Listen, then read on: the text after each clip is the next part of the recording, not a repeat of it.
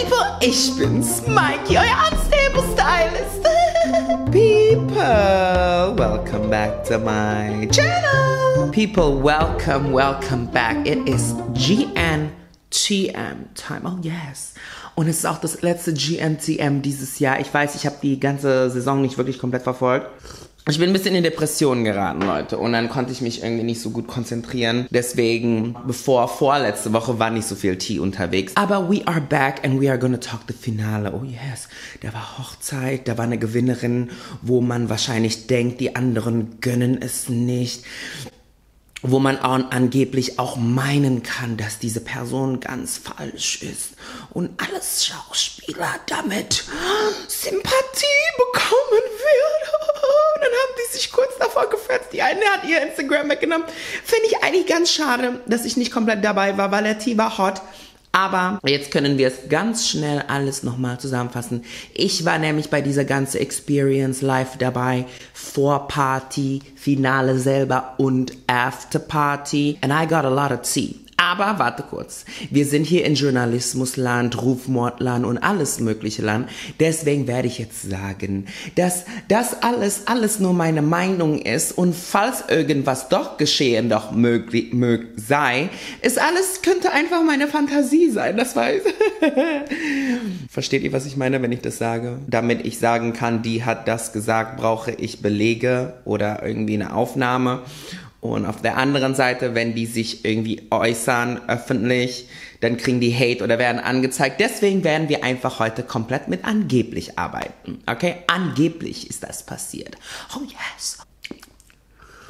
Also ich habe mir jetzt das Finale nicht im Fernsehen angeguckt. Also ich hab, ich war live dabei und habe mir das angeguckt, was ich dort gesehen habe, damit ich das von dieser Perspektive erzählen kann. Ein bisschen Abwechslung in unserem Leben, Leute, people. Was ich gesehen habe, war Simone, Sayana und Cecilia waren ja im Finale und die hatten ja so dreimal, wo sie so, so reden über Women Power und so feier ich so. Aber live, paar Leute, die das im Fernsehen gesehen haben, fanden das voll inspirational. Aber als Cecilia, nothing against Cecilia, I think she's very cute. Her speech was diabolical. Oh my God. Also ich glaube, wenn man es im Fernsehen gesehen hätte und die Emotionen mitbekommen hat, so Gesicht und so, vielleicht hat sie das mit Emo Emotions gesprochen. But live dabei, it was diabolical. Oh my God. I was laughing. Ich habe mich kaputt gelacht. Und wenn man sich wirklich überlegt, alles, was sie gesagt hat, in, im Großen und Ganzen waren ja schöne Sachen. Aber ich habe gemerkt, solche Sachen, manche Sachen kann man nur sagen, wenn man vor der Kamera ist, weil in real life it's diabolical. It was really bad. Okay, people, it was bad. I was laughing. Die Tante, die neben mir saß bei im Publikum, das waren so drei, ich glaube, das waren auch Instagrammers. Ich glaube, die haben mich gehasst, weil ich die ganze Zeit nur noch gelabert und you know, I think those people hate me. It's okay, they can hate me. Um, but they hated me, weil ich war nur noch am Lachen. Ich war so bitch, you didn't say that, bitch. Simone's speech war okay, like chill your bass. Das war so meine Meinung, like girl, get, like like tell the story that you need to tell in order for people to like you. So hat sich das angefühlt. So Sayanas speech live war acceptable. Moving on from that. Mit keiner von den drei Finalisten habe ich gesprochen, because I was not interested in that. I wanted more the tea about the people who hated the Finalisten. nee, guck mal, ich hab Sayana gefeiert. Ich hätte gewünscht, dass aus dem sie gewonnen hätte. I, I liked her, I liked her, aber ich weiß auch, warum sie nicht gewinnt. Ähm, das war auch der Grund, warum, als ich zum ersten Mal auf die ganzen Kandidatinnen reagiert habe, ich habe Sayane gesehen, ich habe sofort sozusagen weggeswiped, so aller Tinder, so nach dem Motto, no. Weil I just know the industry und ich weiß einfach ganz genau, dass die, dass Sayana nicht gewinnen kann. Like, like my opinion, äh, meine Meinung, okay?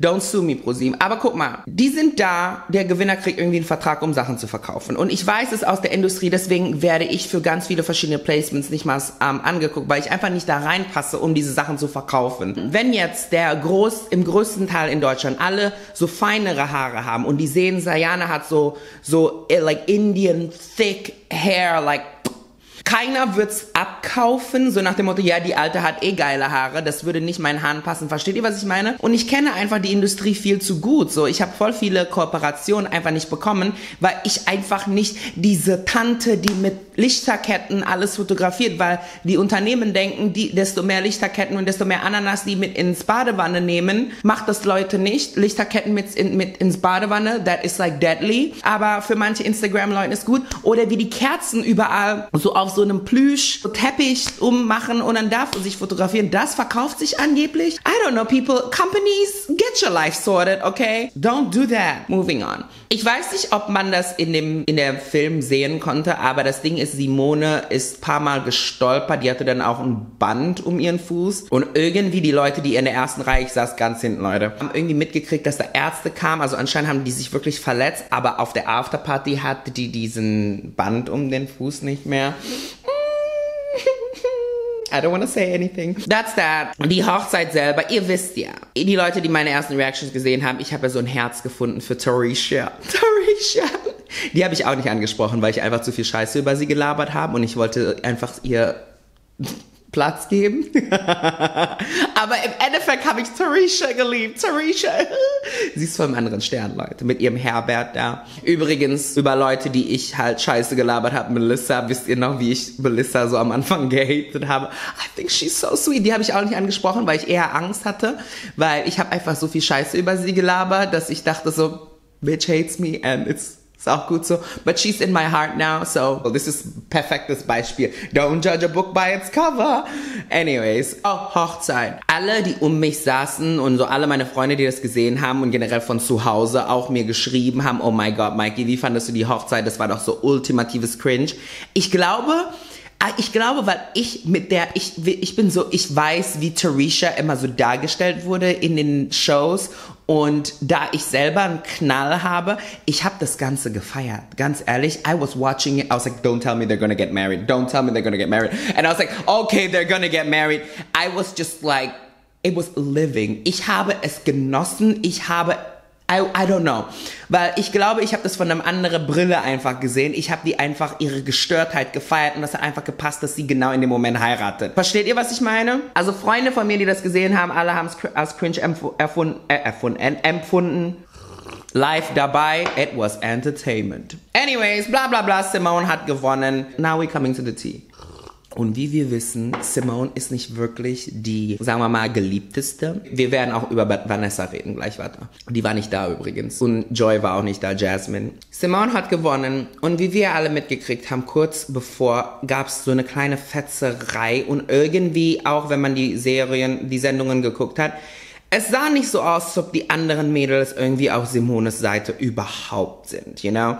Like, they were pissed, aber das, das, die letzte Shooting war ja irgendwann mal im März. Das heißt, es ist jetzt paar Monaten her, dass sie sich jetzt wieder gesehen haben. Und wenn man halt sozusagen die Sendung geguckt, versteht ihr, was ich meine, was ich gerade sagen möchte? Man hat die Sendung geguckt und dann auf einmal das Finale ist ja nur eine Woche in unserer Zeit, aber für deren Zeit ist da ein Monat dazwischen, versteht ihr? Und laut dem letzten Stand war das ja so, man mochte Simone nicht. So im, obwohl man muss, ich muss sagen, ähm, Simone hat den größten Applaus bekommen von alle Mädels, alle drei Kandidatinnen. Das fand ich richtig krass, weil ich hätte ja als Zuschauer irgendwie erwartet, erwartet, dass die meisten so nicht auf Simones Seite so wirklich war. Versteht ihr, was ich meine?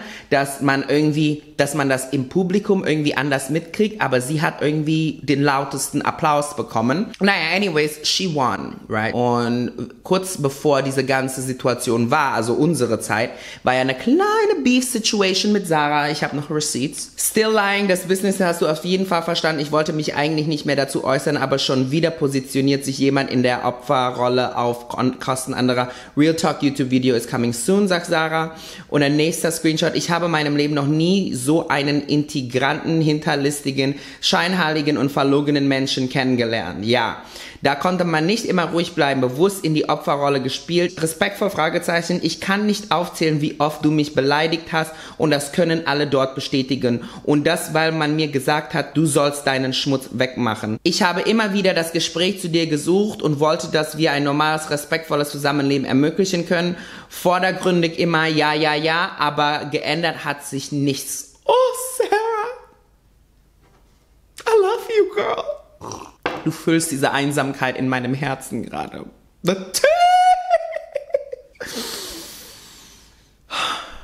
Ey, we need to be nice to the people giving us the tea, people. Die entertainen uns. Okay, warte mal. Du hast andere immer wieder bewusst schlecht gemacht. John Frieda, Situation, Rache. Das war dein tägliches Verhalten, das du an den Tag gelegt hast.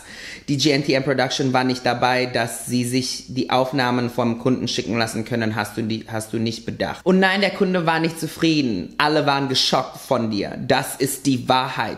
Sei wer du bist, gehe deinen Weg, interessiert mich nicht. Aber versuche nie, nie wieder deine Ziele auf Kosten anderer zu erreichen. Du warst nicht das Opfer, sondern der Täter.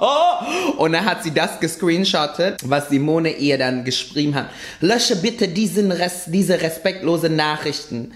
Und dann, oh, Sarah Girl, I knew I liked you. Anyways, das war kurz davor. You know, like, it, it was, it was of like that vibe, okay, people? Und wenn man sich so die Videos hier und da angeguckt, die waren nicht wohl wirklich zufrieden mit Simones Verhalten und so weiter. Aber ich bin kein Journalist. Ich habe jetzt nicht die Mädels interviewt und Zitate jetzt rausgesucht und Schlagzeilen. Das ist, was ich am Anfang gesagt Wir machen jetzt alles angeblich, weil ich möchte nicht, dass einer von den Mädels irgendwie Hate oder Sturm oder irgendwie was abbekommt. Die waren alle ganz liebe Mädels. Ich sag mal so, ich habe mit vielen gesprochen. Ich werde jetzt nicht sagen, mit wem ich alles gesprochen habe. Und im Endeffekt war das so, die haben, ich glaube, die haben sich alle irgendwie kurz davor zusammengesetzt, because I can tell if a bitch is lying, okay? Natürlich hatten die ihre Vergangenheit mit dieser Person und im Endeffekt, ich glaube, alle haben einfach diese Show jetzt hinter sich gebracht und von meiner Interpretation von den meisten Sachen, was ich raushören konnte, als ich die überhaupt über die, über das über das Ende gefragt habe, wie fandest du dass Simone gewonnen hast, so überwiegend waren die alle so, whatever, life is life. Und da konnte man merken, die hatten so deren Vergangenheit, die halt frisch ist natürlich, aber, you know, viele von denen sind irgendwie einfach draus gewachsen. Und das fand ich toll. Das ist, was ich an Drama liebe. Ich liebe es, wenn Drama kommt und dann fetzen die sich. Aber im Endeffekt werden Leute daraus erwachsen. Because that's beautiful Drama. Weißt du, wenn es gerade am Brühen ist, sind wir gerade, yes! Aber dann so ein bisschen erwachsen, damit ich, verstehe, was ich meine. Das ist dann so ein Teil von World Peace, was wir sein wollen. Und aber ein Teil von Tea, was wir lieben, you know? Because wenn Tea, wenn, wenn sich das weiterhin zu sehr fetzt, dann ist es traurig. Remember Tati and James? Oh my God. So ab Folge 3 war das ein bisschen traurig. Ab Folge 1, 2, 3 war das Tea.